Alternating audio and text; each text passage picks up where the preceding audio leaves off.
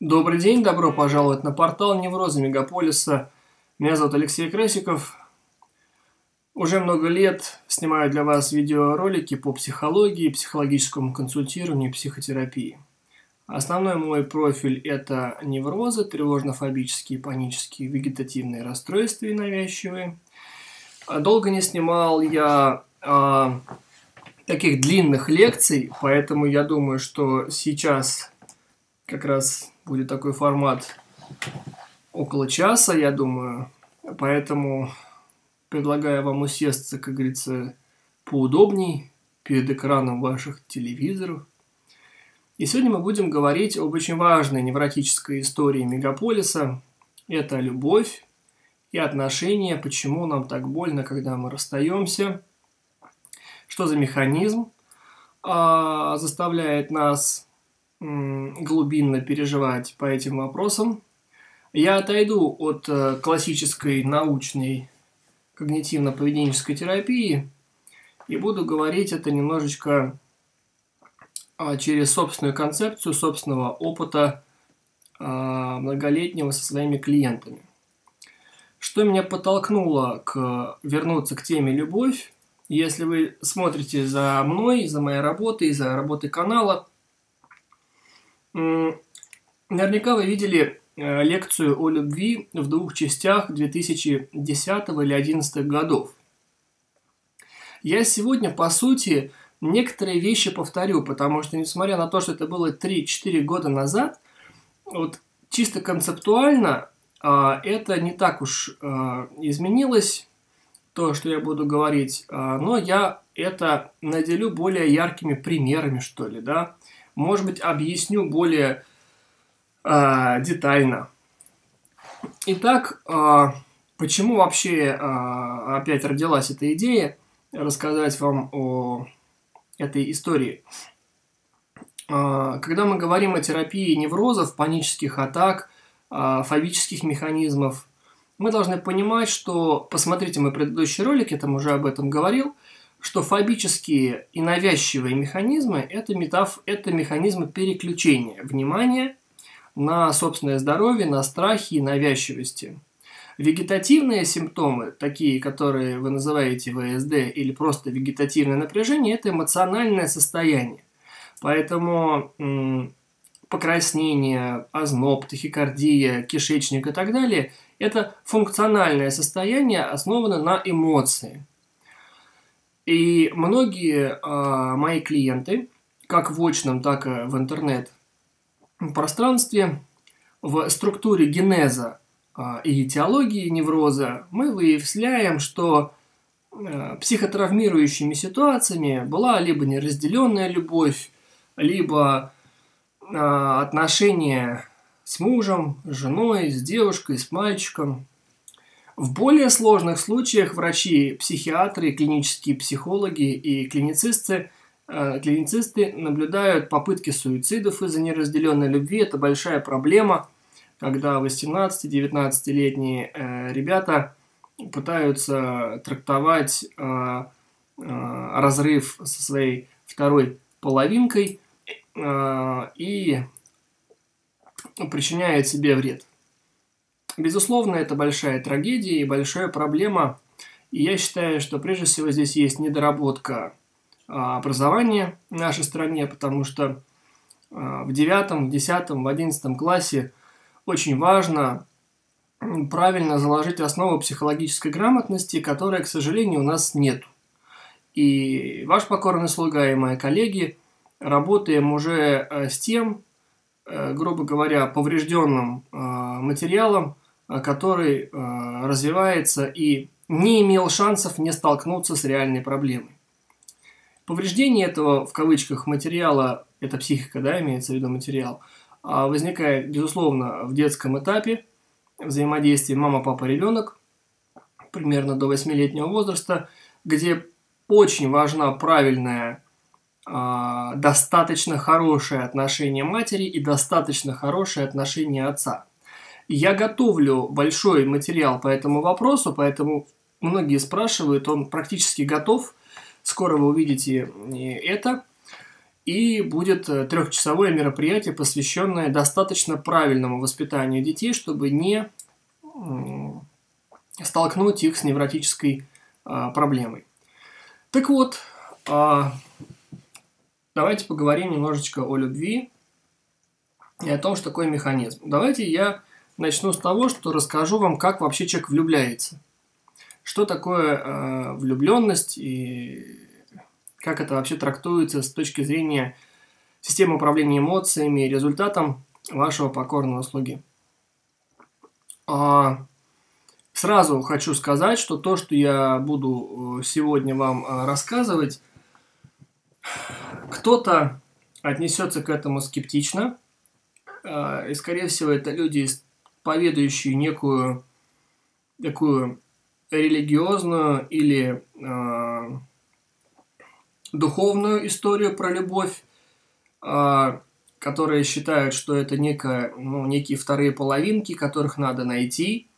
И вот у тебя есть шанс, найдешь ты или не найдешь, или что ты нашел, но потерял, и теперь больше их нету. Да, вот э, такие люди, скорее всего, достаточно э, скептично отнесутся к моим сегодняшним тезисам. Но э, я просто расскажу э, это, а вы уж сами решаете, э, как к этому относиться. Для чего я это рассказываю? Расскажу я вам это не для того, чтобы обломать вашу веру или посмеяться над ней, а для того, чтобы вы лишний раз задумывались, а действительно ли рационально так повреждаться от э, ситуации, когда мы расстаемся. А в чем причина моего повреждения такого сильного? А почему меня зацепил этот человек? А куда он попал? А что будет, если мы расстанемся? Вот поэтому воспринимайте мою сегодняшнюю лекцию как метафору профилактики от сильных эмоциональных повреждений на э, почве расставаний. Окей? Окей. Давайте начнем с того, что я попытаюсь объяснить вам, как я обычно это делаю. Прошлая лекция была на бутылках и на одной из греческих богинь. А, но сегодня я постараюсь на пальцах объяснить, как выглядит механизм влюбления или любви, как аффекта. Во-первых, надо понять, что с точки зрения центральной нервной системы и психиатрии мы можем рассматривать любовь как аффективное состояние. В чем аффект? Объясню.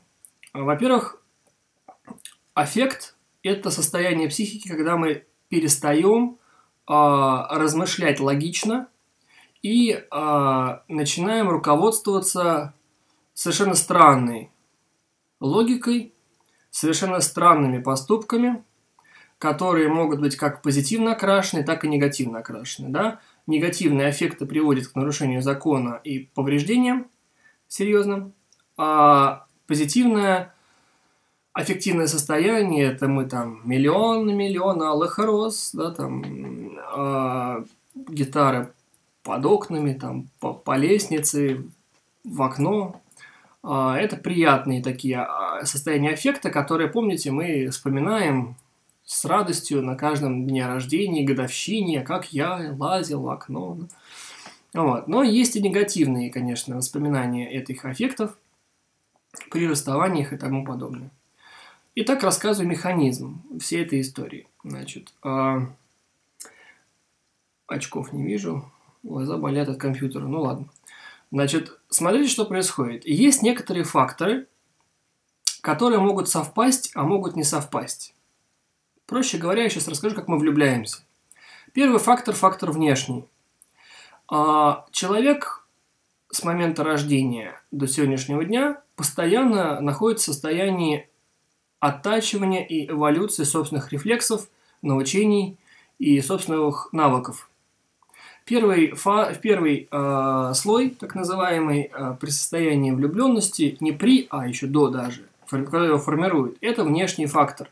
Проще говоря, блондинка, брюнетка, рыженькая, короткие волосы, длинные волосы, брюнет, шатен, он же, да, там карие глаза, серые глаза, зеленые глаза, э, фигура, Все эти внешние качества являются сочетанием или конгломератов предыдущих опытов или маленьких аффектов.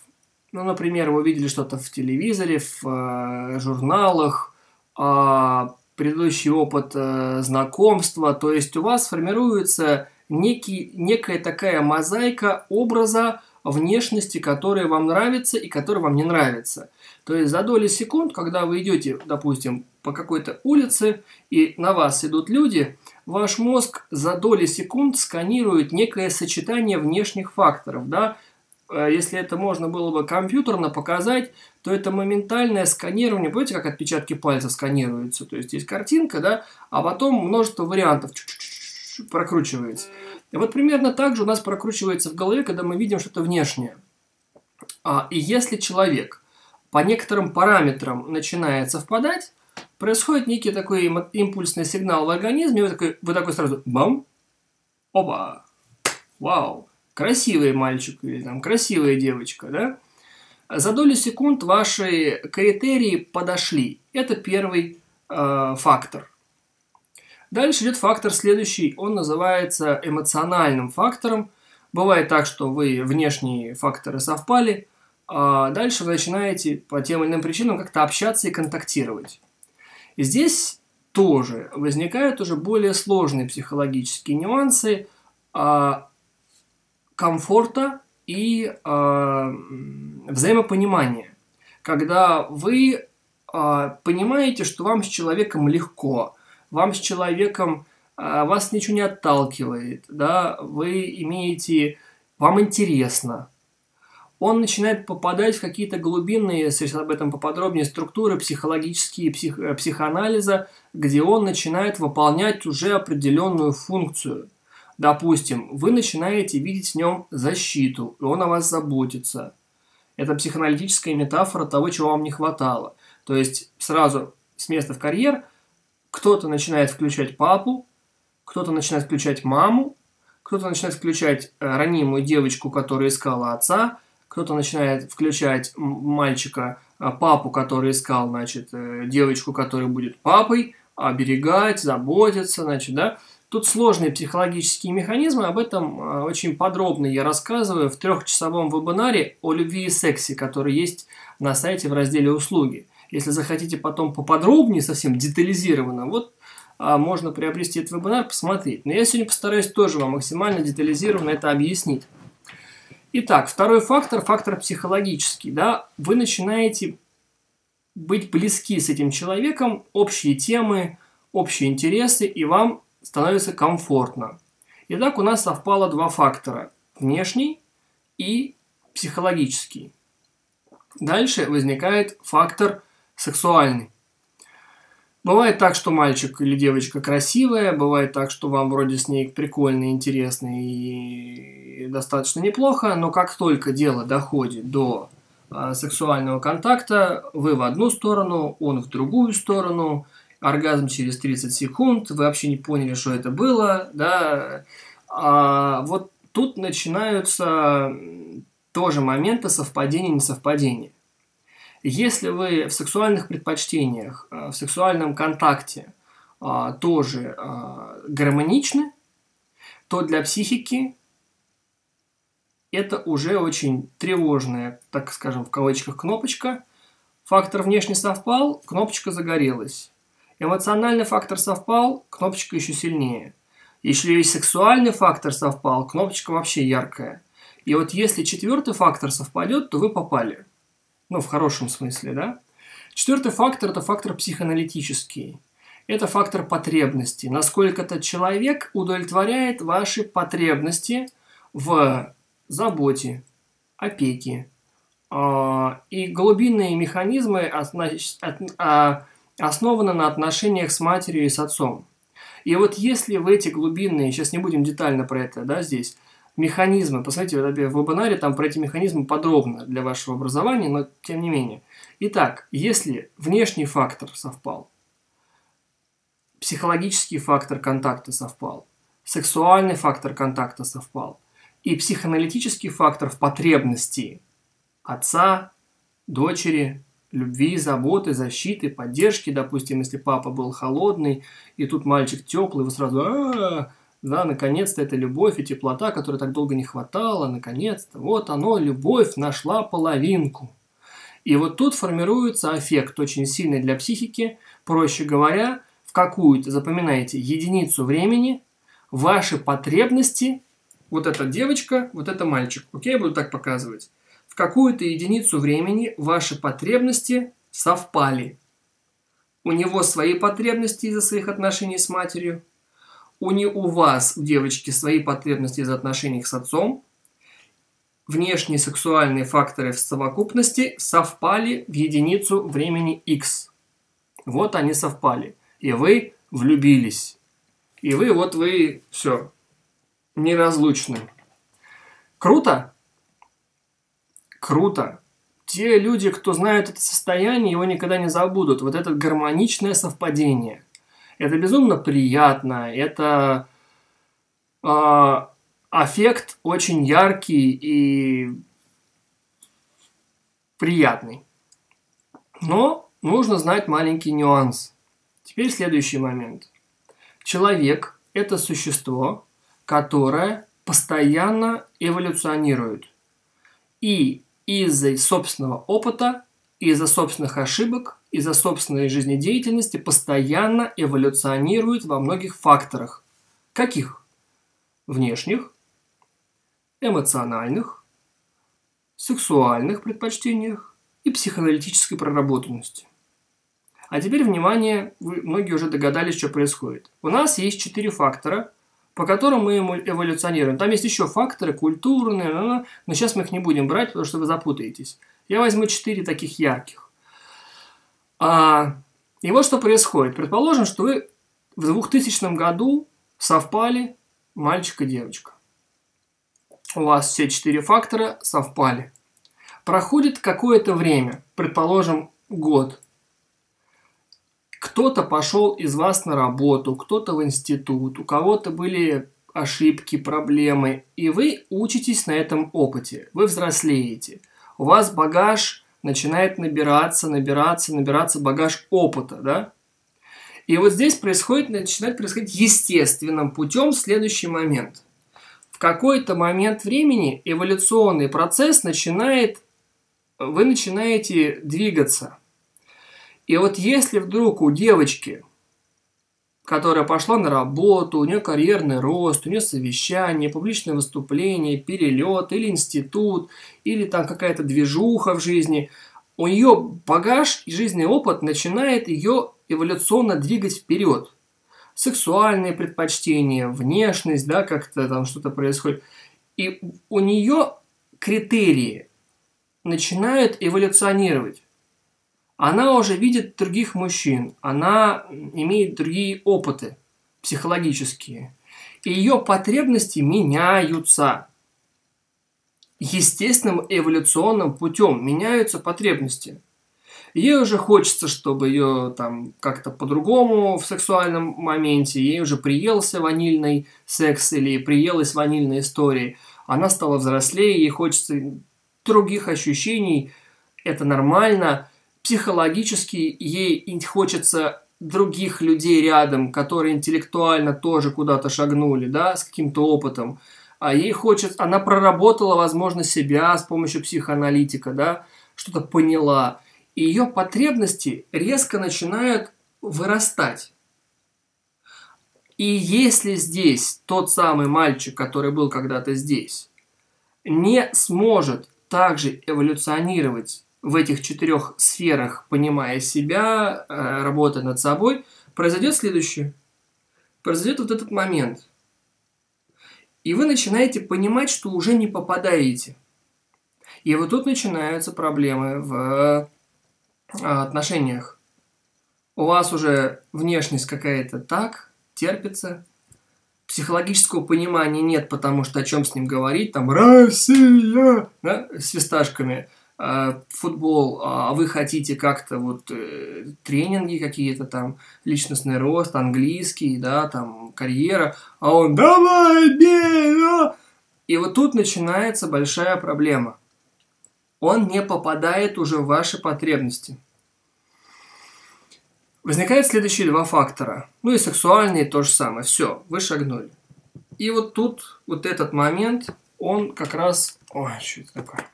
Это как раз очень важный момент. Поняли, как происходит разлад?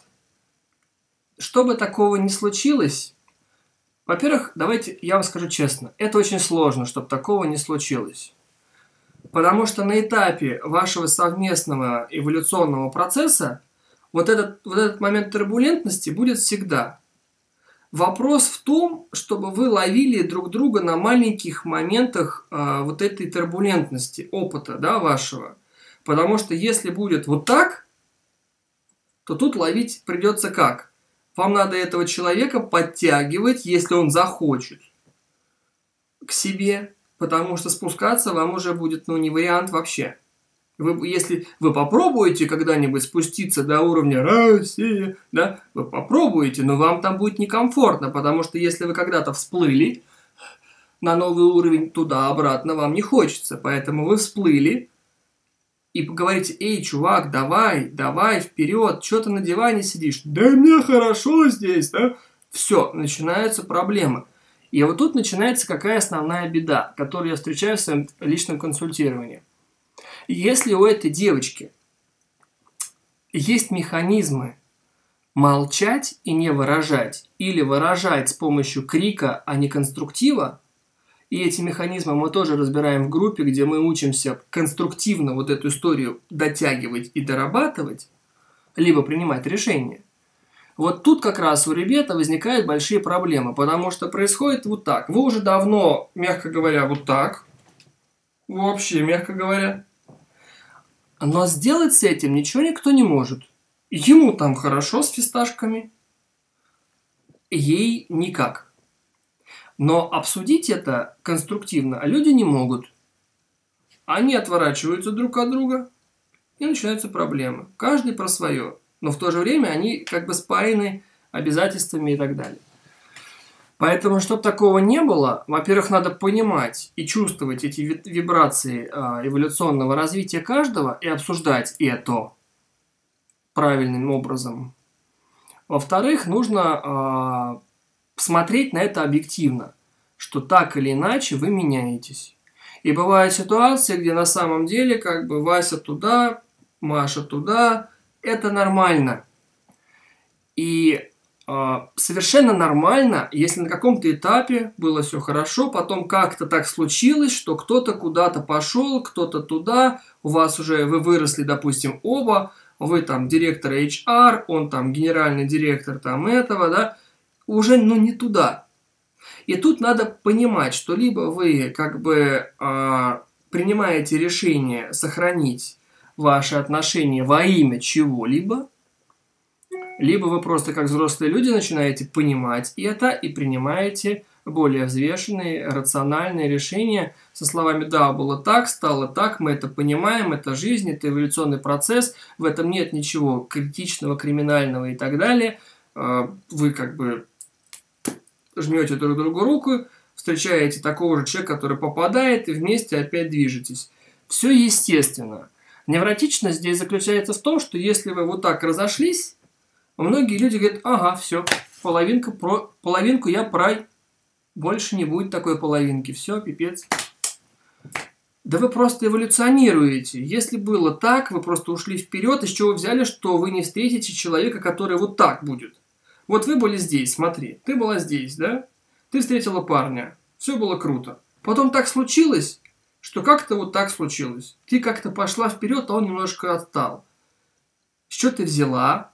что в твоем процессе развития не встретится вот такой мужчина, ты скажешь «Ого», он скажет «Привет, давай сюда», оп, как прикольно, и пошли дальше.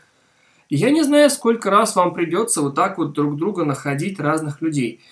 Может быть, вы встретите одного и будете всю жизнь подтягиваться. Так тоже бывает. Может быть, вы полжизни проподтягиваетесь, а потом в какой-то момент случится резко, да? Я не знаю.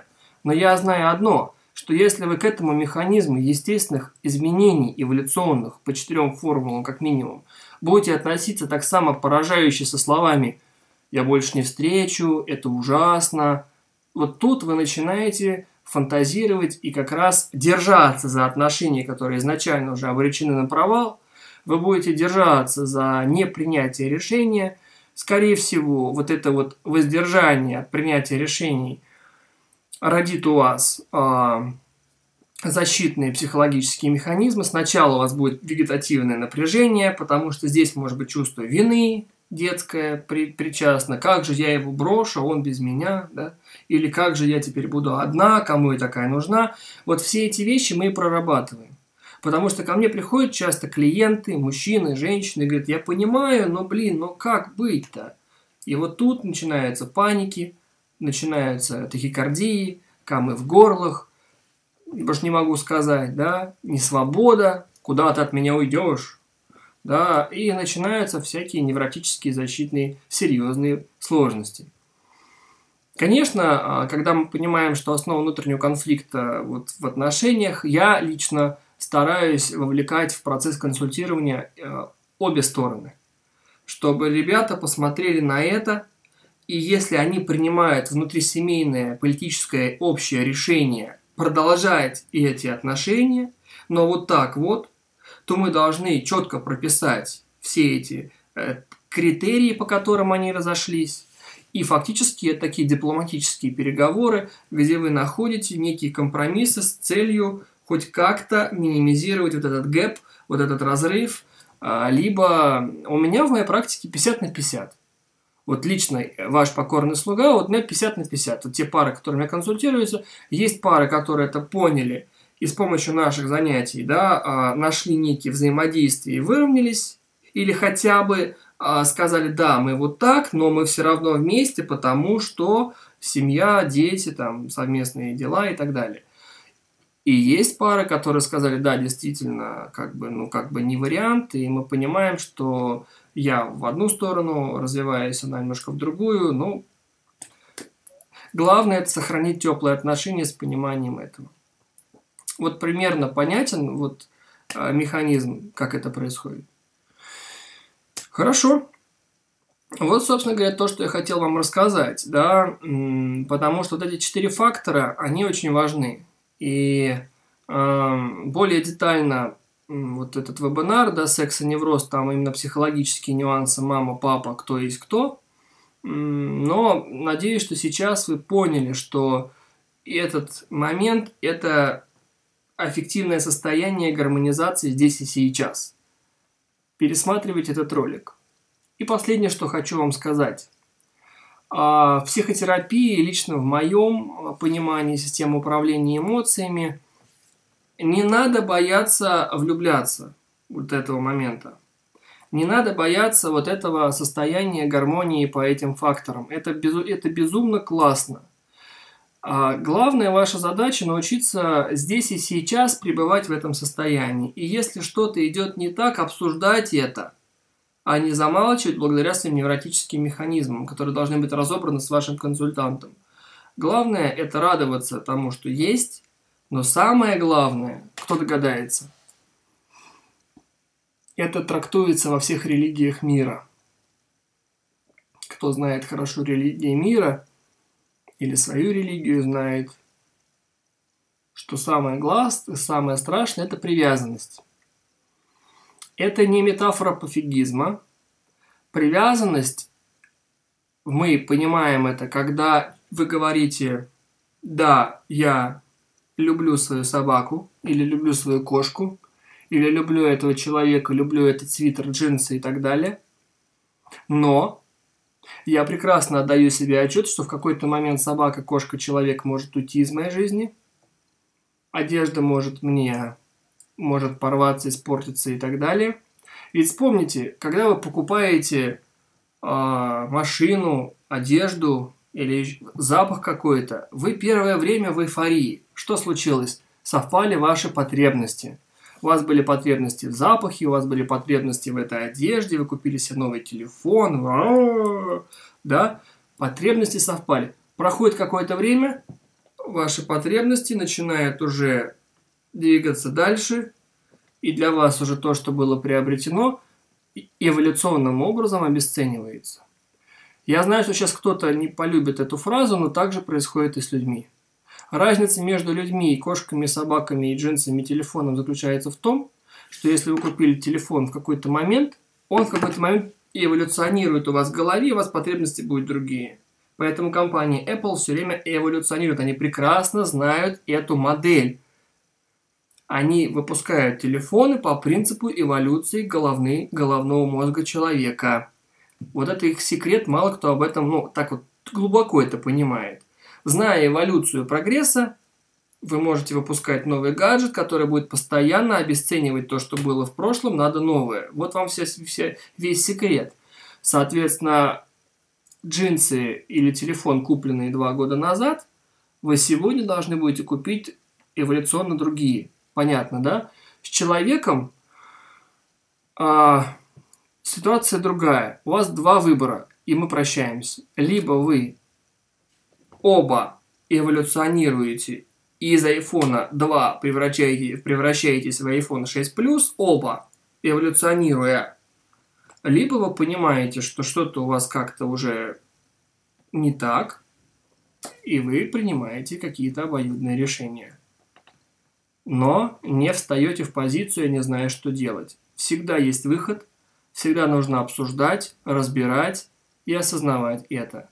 Проблема заключается в том, что когда произошли вот эти моменты, вы их не осознаете, и у вас формируется тахикардия, ком в горле, боли, страхи, вы упираетесь в эти симптомы и считаете, что проблема в этом.